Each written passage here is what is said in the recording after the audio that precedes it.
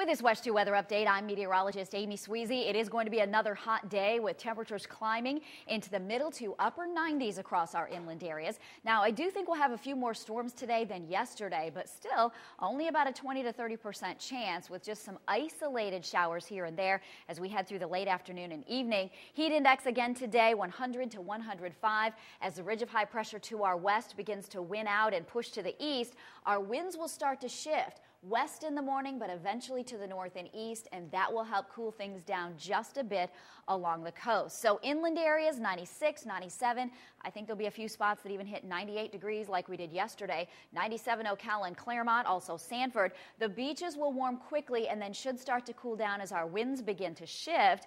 As you look at the next seven days, you'll see temperatures eventually start coming down, but only a little bit. We're talking 94 right through the weekend into early next week with rain chances at 30 to 40 percent that.